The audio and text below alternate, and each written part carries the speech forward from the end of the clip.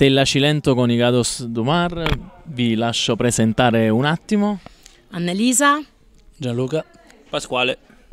E insomma si parte dalla tradizione partenopea per, eh, alla ricerca, no? un po' la sindrome del viaggiatore, quest'ultimo lavoro, lavoro discografico si miscelano varie eh, musicalità, vari, vari, dialetti, ma soprattutto con strumenti eh, anche poco diciamo, usati di solito eh, in, in, un trio fondamentalmente che fa più sonorità, jazz, folk.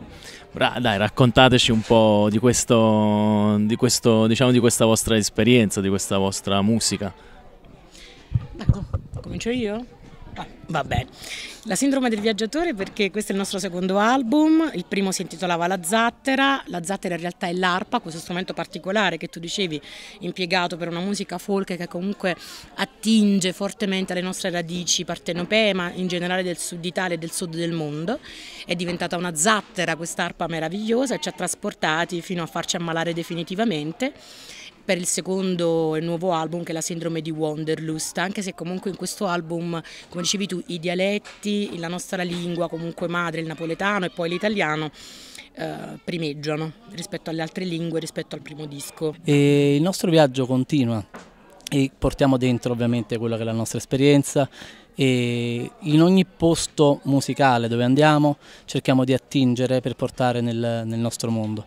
Il nostro obiettivo è questa um, isola, questa isola di Mascialaima, che è un'isola immaginaria che noi abbiamo creato e a cui abbiamo dedicato un brano in questo disco, che è una sorta di meta per tutti i musicisti ed è una meta che non si raggiunge mai perché nel momento in cui la raggiungi è come se andasse da un'altra parte ed è poi il, il, vero scopo del nostro continuo viaggio che poi viaggiare è una ricerca ed è quello che noi facciamo in musica insomma. E non finisce qui.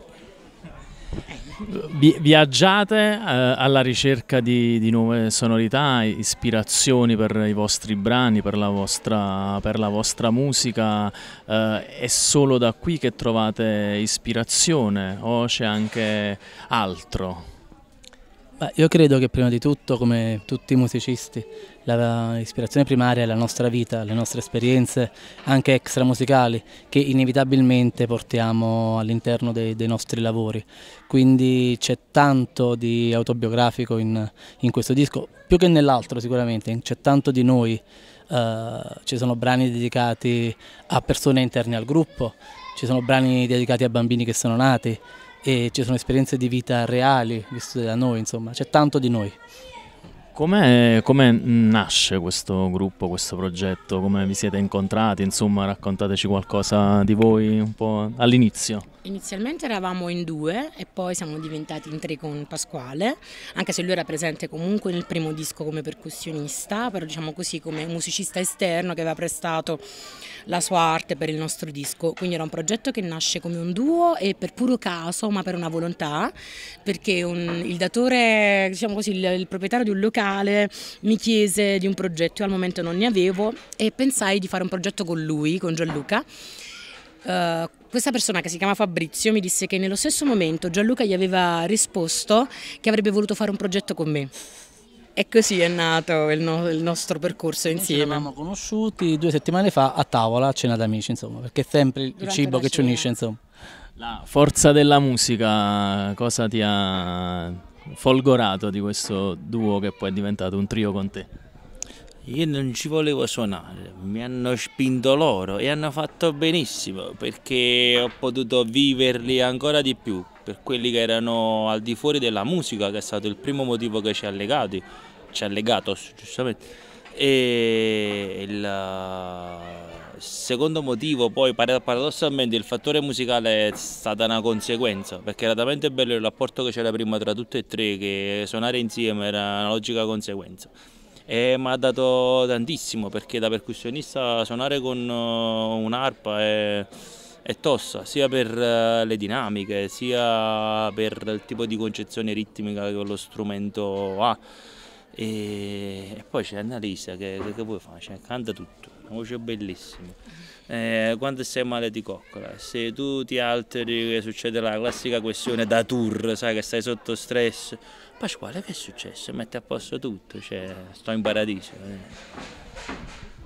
Eh. Uh, ultimissima, ultimissima, visto che siete napoletani, quanto vi dà Napoli, cosa significa Napoli uh, per voi oggi, anche per la vostra musica, per la vostra ispirazione? Tutto il meglio e tutto il peggio che si possa avere dalla vita.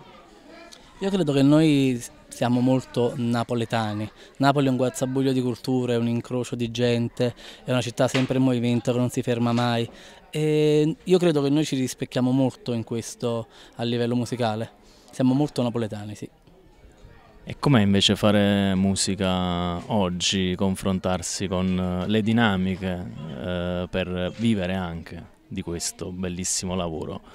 Io penso che la cosa fondamentale sia proprio essere se stessi che è una cosa che si sta perdendo. Se tu hai un'idea, un'identità musicale come la nostra, la contaminazione non significa accontentare pubblici diversi per riempire sale, piazze o quant'altro. Cioè, io sono questo, ci credo veramente perché ti sto portando una parte di Gianluca, di Annalisa, di Pasquale, di un vissuto insieme, di, di bambini nati.